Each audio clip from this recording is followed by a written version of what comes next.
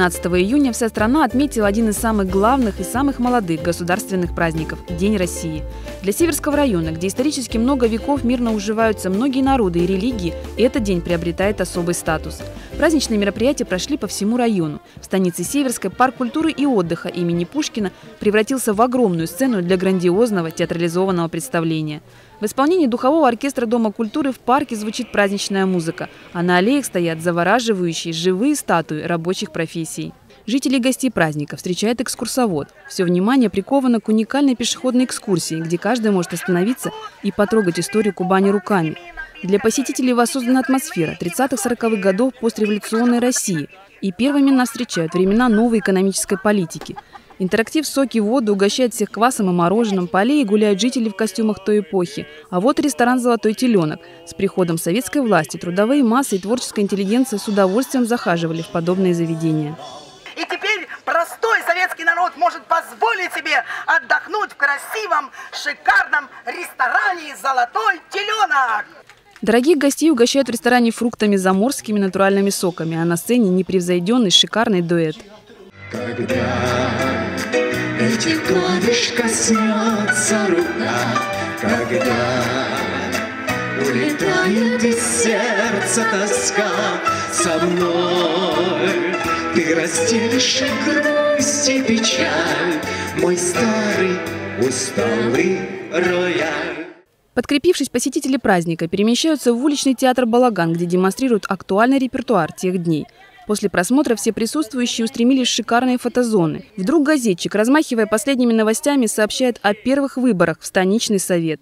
Мы попадаем в годы Кубани Комсомольской. Ретро-автомобиль, комсомольский митинг, все как наяву. Агитатор призывает вступать в ряды Всесоюзного Ленинского коммунистического союза молодежи. Поднимаем знамя! Товарищи, сюда! Идемте строить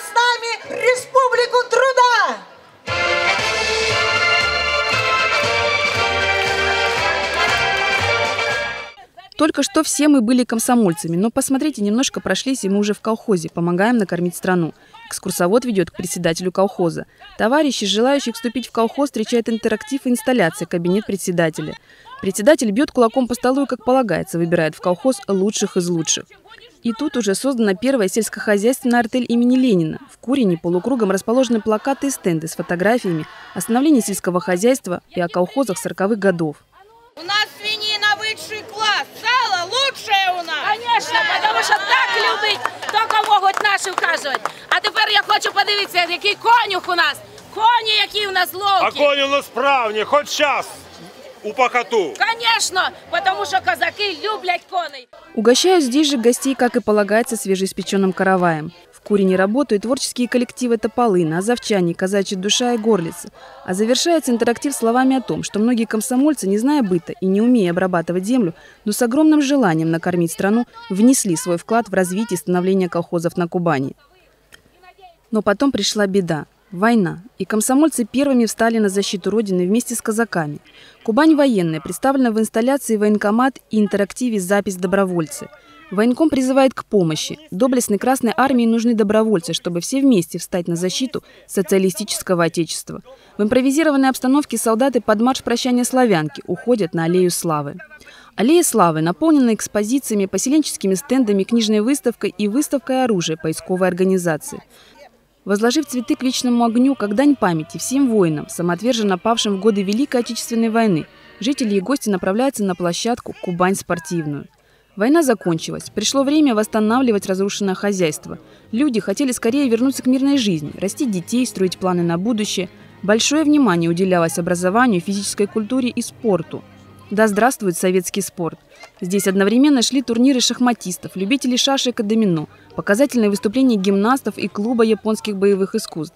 Можно увидеть и все многообразие кубков и медалей ребят, как результат высоких спортивных достижений.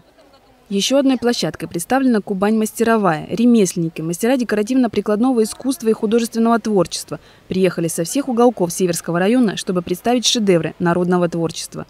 Изделия из кожи и бересты, тряпичные куклы, чеканка монет, роспись на глиняных изделиях – это все сделано золотыми руками наших умельцев.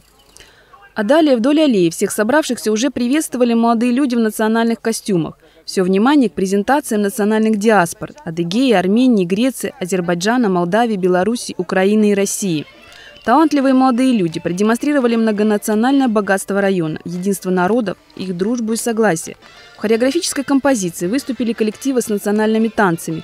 Они причудливо переплетались, образуя настоящий венок дружбы. Зрелище поистине завораживающее. Четкие грациозные движения, сложные акробатические номера ставили выступление на очень высокий уровень. О творческих коллективах района и их мастерстве можно говорить долго. С уверенностью можно сказать, Северский район – это кузница кадров для лучших коллективов края.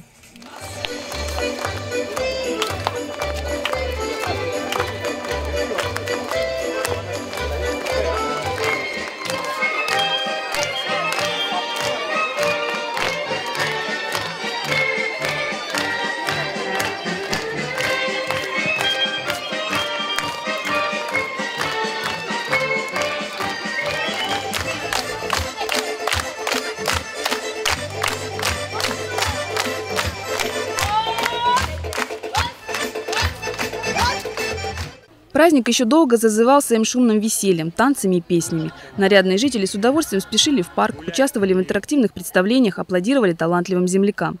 Северский район не похож ни на один другой. Он имеет своеобразный характер и душу. Самый любимый, процветающий, трудолюбивый, наши люди приносят ему славу своим трудом и поступками. Прошло 94 года со дня основания Северского района. За эти годы район достиг больших успехов в различных сферах. Вечерней торжественной церемонии на площади перед районной администрацией чествовали тех, чей жизненный путь является примером для нас всех. Людей, которые своим трудом и патриотизмом показывают нам, куда двигаться дальше. Медалью за вклад в развитие Северского района наградили первого секретаря Северского райкома КПСС Виктора Пономарева. Звание «Почетный гражданин» Северского района удостоились семь человек. Аркадий Акопян, Сергей Ахтименко, Павел Беда, Татьяна Зарецка, Игорь Крикун, Юрий Альденбург и Григорий Сокол. Трудовой путь так высоко оценен. Я очень благодарен тем, кто действительно его оценил. Более 25, нет, порядка 25 лет я работаю в этой станице только в должности ну, председателя совета, главы, сегодня администрации. Должности популярны, но тем не менее приятно, что все-таки мне оказали такое высокое доверие. 50 лет я живу с песней. И я надеюсь, те песни, которые я посылаю вам, сельчанам, делают вас добрее, здоровее и лучше в жизни. И особенно это относится к нашей молодежи. Праздничный вечер продолжили выступления хореографических коллективов Краснодарского краевого колледжа культуры, творческих коллективов и солистов учреждений культуры района.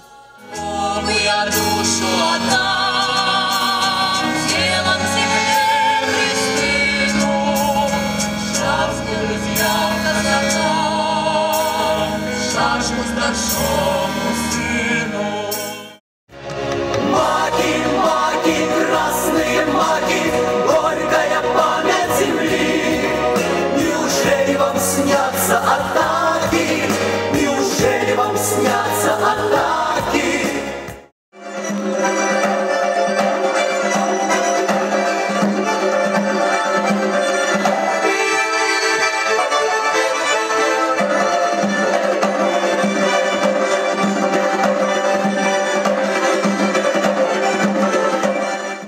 Особый восторг вызвало выступление гостей вечернего торжества, артистов музыкального шоу театра «Премьера» города Краснодар. Они завершили кругосветное путешествие, огибая земную ось и пересекая все меридианы, представив фееричную, красочную вокально-хореографическую программу.